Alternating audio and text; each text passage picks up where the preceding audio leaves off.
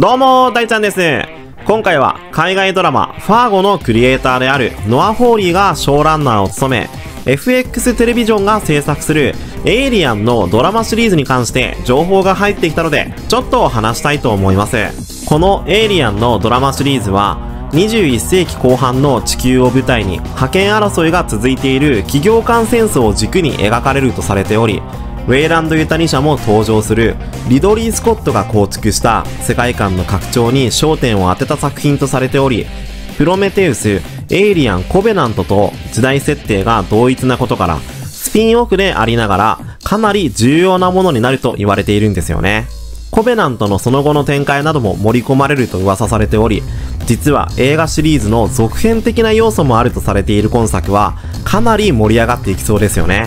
ノアは現在ファーゴの第5シーズンの制作中なのですが、エイリアンのプリプロダクションも積極的に行っており、脚本もリライトを継続しているそうで、今月中にはプロダクションデザイナーにセット関係の多くの依頼を出すつもりなようですね。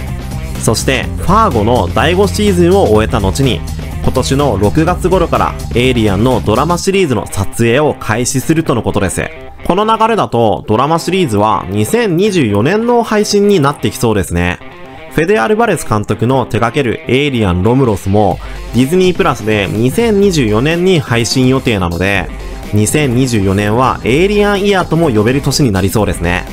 今作ではウェイランド・ユタニ社とドラマオリジナルの企業が登場して企業間戦争を軸に描かれるとのことなのですがそこにゼノモーフをどう絡めてくるのかがまだ読めないですよね。映画エイリアンの数十年前、プロメテウスよりもさらに以前の時期の地球を舞台にしたシリーズになるとのことなのですが、そこにどうやってゼノモーフを出してくるのかが疑問ですよね。下手するとこれまでのエイリアンのシリーズの歴史を破壊しかねないですよね。エイリアンと人間の初遭遇は、エイリアン1作目のノストロモ号の出来事という設定であり、プロメテウスとコベナントではゼノモーフの原型であるネオモーフなどは登場していますが、ゼノモーフはまだ登場していないので、ドラマはその歴史を改変するのかもしれませんね。また、植民地海兵隊コロニアルマリーンズの発足も描かれるという噂もあるので、エイリアンとエイリアン2の要素を併せ持つ作品になる可能性があるので、ここは気になるところですね。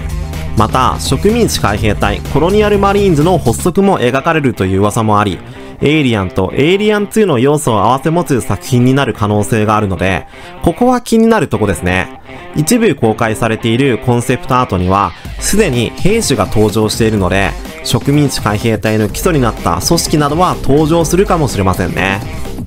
リーク情報などによると、ドラマシリーズが成功した際には、数シーズン続けた後にドラマを土台にした映画企画も立ち上げられるとのことなので、エイリアンシリーズのリブートとされるエイリアンロムルスと合わせて、エイリアンの本家のシリーズのスピンオフ映画が誕生するとなると、世界観がどうなってしまうのか展開が読めないですね。2つの大型企画が進行中のエイリアンシリーズですが、また新しい情報が入り次第動画にしますね。ここまで見てくれてありがとう。チャンネル登録と高評価、よろしくね。